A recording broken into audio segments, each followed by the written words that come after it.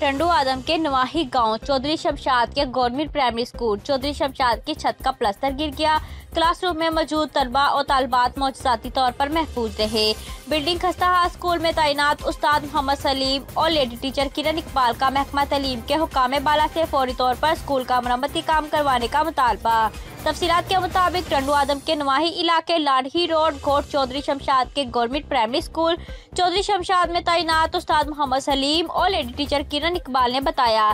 Chaudhary Shamshad primary school में पचास के करीब तलबा और तालबात पढ़ते हैं। स्कूल की बिल्डिंग खस्ता हाल हो चुकी है और आज भी अचानक छत का प्लस्तर गिरा तो बच्चे मौजाती तौर पर महफूज रहे। उन्होंने बताया कि स्कूल की बिल्डिंग की चार दीवारी भी गिर चुकी है, न बाथरूम है और ना ही पीने के लिए साफ़ पानी का बंदोबस्त है।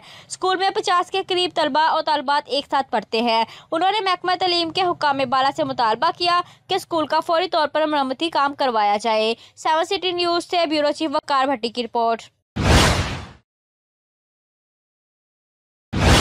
सांगड़ टीबी के आलमी दिन की मुनासबत से नर्सिंग काल सिविल अस्पताल सांगड़ में एक रोज़ा सेमिनार का इनका टीबी के हवाले से तलबात को आगाही दी गई। सांगड़ गर्ल्स नर्सिंग काल सिविल अस्पताल सांगड़ में ब्रिज कंसल्टेंट फाउंडेशन सांगड़ की जारी से टीबी से बचाव की हदायत। और मुफ़्त इलाज के हवाले से सेमिनार का इनका किया गया। सेमिनार में शटका को काबिल इलाज मस टीबी की आगाही दी।